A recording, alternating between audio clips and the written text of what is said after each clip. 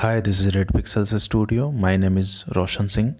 Today in this video tutorial, I am going to cover all the ways to place images into Photoshop, whether it's a single image or a batch process.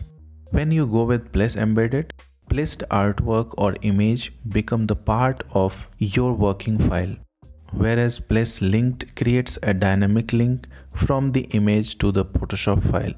Place embedded can change your file size but place linked keep your file size low. But the main difference between both the options is once original placed file changed later, it's not reflected anything in Photoshop. But in case of place linked, it will only show up in Photoshop but you cannot edit them until it's relinked.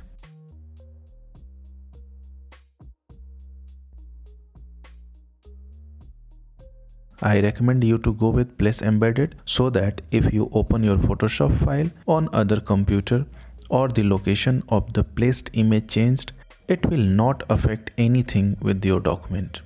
But again there is a problem with Place Embedded too.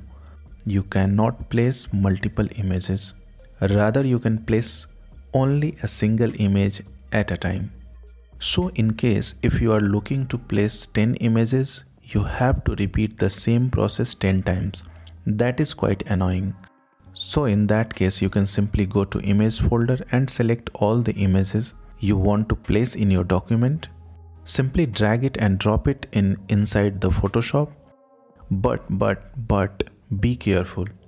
You can only drop them into the canvas area to place them actually in your current document if you drop them anywhere outside your canvas area whether on top panel or tool panel or even layer panel also it will open up images into separate documents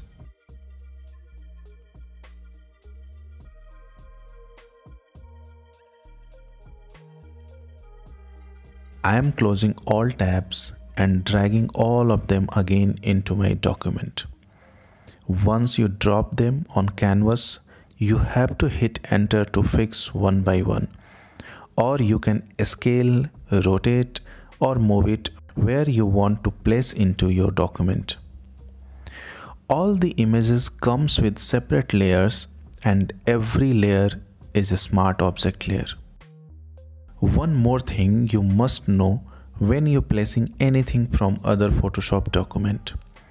Sometimes we work on same image size, usually when editing cameras, photographs or something like that.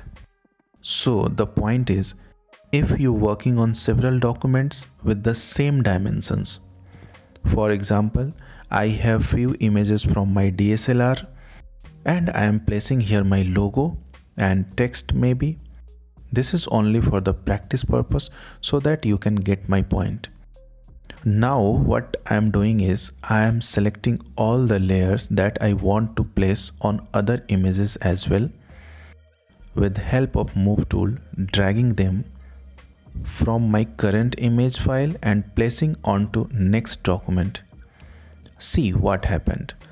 It's very difficult rather it's impossible to manage it manually the same XY position matching with the original one. Let's delete all the layers and repeat again the same step but this time holding shift key before releasing your mouse button. Look at this, all the layers placed exactly the same position. There is one more option to load your multiple images into a single document and sometimes it really help you to work on multiple images. Let's jump to the file go to a script and choose load files into a stack. Here you can choose between files and folder. So I am selecting folder and hitting on browse. Set the input folder here where you placed your images. Now it shows me the all images name list it will take some time to prepare a separate document for you and here you can see all the images arranged on separate layers. This is all about from this video tutorial. Hope you like this video. Feel free to write me whether it's a formal hello or anything related to design and multimedia topics.